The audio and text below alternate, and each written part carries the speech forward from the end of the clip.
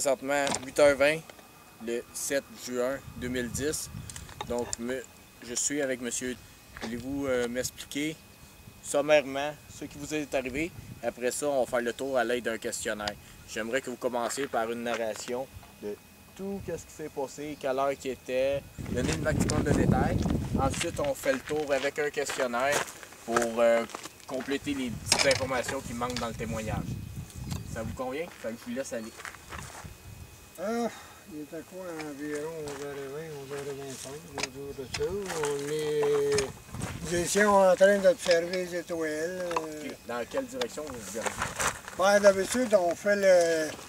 un peu partout, mais on était sur ce côté-ci, parce que c'était où le plus beau côté?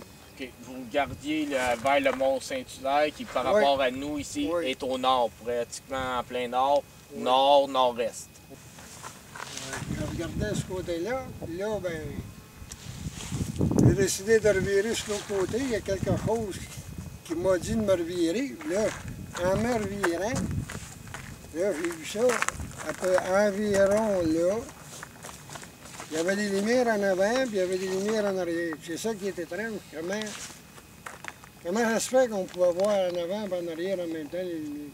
C'est bizarre. Non? Ça, j'y ai pas pensé sur le coup. C'était juste au-dessus des arbres. Mais juste pour clairer. Il paraît comme si ça frottait quasiment ces arbres. Puis là, ça, ça avançait lentement, lentement. Tellement lentement, je me disais, pas un avion. Ça a l'air aussi gros qu'un avion de ligne. Comment ça se fait? Ça se peut pas, c'est impossible.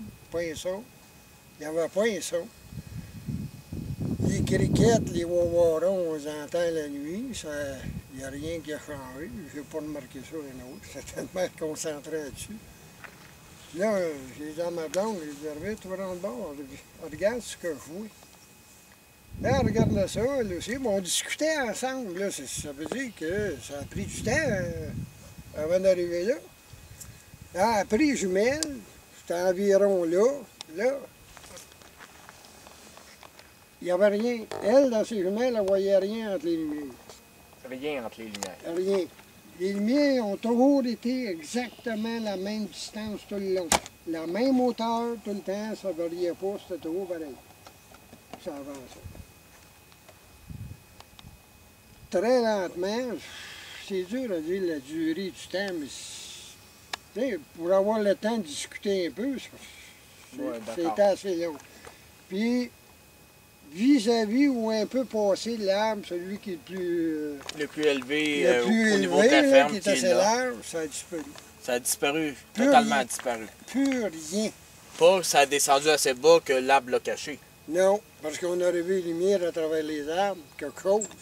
Il n'y avait rien, plus rien. Ça allait éteint comme si ça avait disparu, changé de dimension, D'accord. qu'importe. Puis au moment qu'il a disparu, là, totalement disparu, il était encore plus haut que cette table-là que, que, vous nous parlez? Juste, juste, juste au-dessus. Juste au-dessus? Juste au-dessus.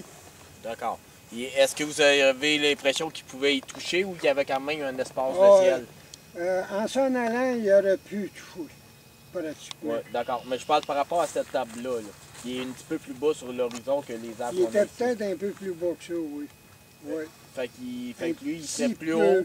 Oui, lui, il était un petit peu plus haut, là, moi, que les autres. Parce que c'est plus haut que le reste. D'accord. Donc, il y avait un espace de ciel entre l'objet et cette table-là. Non, ce, cet arbre-là, il était plus haut. Il était rentré, disons, un petit peu dedans. Un petit peu dans ce là Pareil comme s'il avait été vis-à-vis, il aurait topé. C'est bon. Puis, il a jamais ressorti dans l'arrière. Non, il a disparu. Plus rien. Plus de lumière, plus rien. D'accord. Pas un son, rien. Pas de d'émissions de gaz comme un moteur conventionnel. Il faut voir comme une petite vapeur sortir, là, monter, quelque chose. Rien, rien, rien. D'accord. Puis quand vous avez demandé euh, à votre conjointe de se revirer pour regarder le phénomène, quelle réaction qu'elle a eue? Est-ce qu'elle avait l'air d'avoir peur, euh, inquiète, euh, curieuse? Non, quand elle était avec moi, elle, pas, moins qu'elle D'accord. Elle n'était pas grincée. Vous regardiez non, ça? on était curieux. Curieux. On était curieux tous les deux. Euh, pas nerveux ni l'un ni l'autre, mais on regardait ça, voyons, c'est quoi ça? Affaire? Hein? Parce que moi, il n'y a plus grand-chose qui me surprend. à mon âge, on a assez- j'en ai vu un peu. D'accord. Puis, la nuit suivante, vous avez bien dormi? Ça ne Oui. vous a pas inquiété? Vous n'êtes vous êtes pas resté deux, trois jours à vous poser des questions là-dessus? Puis Les, les autres journées, comment ça a été par la suite? là? Les- la nuit qui a suivi, puis les deux jours qui ont suivi? Sais-tu, j'ai pas noté ça. Euh, il y a deux jours, j'ai eu de la misère- beaucoup de problèmes à dormir. Que je pensais à ça. hein? J'y ai pensé un peu, mais je ne sais pas si c'est le soir même ou puis euh, ou après. Ça m'arrive de temps en temps.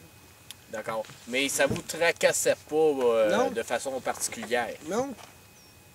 Non, pas plus que ça, parce que je sais qu'il y a, il y a beaucoup de choses sur la planète avec euh, moi. D'accord. Tout est caché par le les gouvernements. Aussi, j'aimerais que vous nous résumiez légèrement votre journée là, avant que ça arrive, euh, comme à quelle heure vous êtes levé le matin, puis qu'est-ce que vous avez fait un peu dans votre journée pour arriver à 11h20 le soir, puis vivre cet événement-là. Ça faisait combien de heures que vous étiez debout, qu'est-ce que vous avez mangé, grosso modo, un résumé sans rentrer dans les détails très très précis. Votre occupation de la journée. Euh, cette semaine-là, je travaillais pas le mercredi. Que là, le mardi soir, ben, si le ciel est beau, j'en profite la veille, mais on vient faire un tour de site. Tu sais, je suis quand même me couche tard, c'est pas un problème. Je me lève une tard. J'avais fini, je pense, à 8 heures ce soir-là. Un chiffre de 7h30 à 8 heures. Puis là, il m'a dit, non, ouais, non, on, on va aller faire un tour ici. Non, j'étais euh, à 100, à 100 forme encore. Ici, on dirait que ça. On s'oxygène, puis ça, tu sais, ça aide, ça fait du bien. D'accord. Mais là, oui, la fatigue, pour moi, ça ça n'a aucune incidence sur ce que je peux voir ou pas. Vraiment être fatigué, mort à quatre pattes pour, avoir des hallucinations. ça, Non, mais c'est pas dans le sens d'hallucination, c'est surtout au niveau de l'interprétation de ce que vous avez vu qu'on Ah, regarde ça aussi, ouais, les ok. renseignements. Parce que notre niveau de fatigue, puis notre expérience de vie, puis tout ça, ça va influencer beaucoup de la manière qu'on va décrire un événement. C'est Oui. pas nécessairement une question d'hallucination. C'est pour ça que je Puis la regarder tout mémoire, ça. se rappeler quoi exactement, c'est vrai. Ça peut avoir un effet sur la mémoire après un, bout, un certain temps. Vous, vous avez fait des, des études en quoi? Moi, j'ai fait aucune étude particulière. J'ai fait mon secondaire 5. D'accord. Euh, il, appelait ça 11e année générale, dans ce temps-là. Mais euh, moi, j'ai toujours aimé l'insolite, l'ésotérisme, le spiritualisme, euh, les- tout ce qui était insolite. D'accord. Puis euh, j'ai discuté pendant des mois avec un chaman à Vancouver, un autre chaman ici euh, à- au village Huron à Québec. euh, Ah ouais? Des, des grands maîtres, euh, puis discuté longtemps avec des grands maîtres de différentes disciplines. tout ça. J'ai été chanceux. Moi, j'appelle ça être chanceux. Avoir eu la possibilité de côtoyer des maîtres, des grands maîtres, des vrais, là, pas, pas des fournis, des, des, des charlatans, des affaires de même. Parce que je le vois, moi, quand, je le sais tout de suite maintenant, quand c'est un charlatan. Euh, J'ai tellement, j'ai assez de connaissances en ces choses-là pour le savoir vite. Et euh, c'est pour ça que ça m'énerve pas, moi, voir un affaire de même, parce que je suis au courant de ça, de ces choses-là. Je suis au courant de bien des choses que les gens ne savent même pas. D'accord. parce que c'est trop caché. J'ai jamais eu un emploi plus qu'un an, à part les derniers, puis les 60 ans. OK, vous avez changé souvent. là. Vous avez Ouais. eu vraiment plusieurs types d'emplois différents. Il y a une chose que je dois te dire, si je veux être euh, honnête avec vous autres, c'est que moi, j'ai fait beaucoup de prison. J'ai fait D'accord. 400 ans de prison, j'ai 15 ans de prison dans le corps. 15 ans à l'intérieur.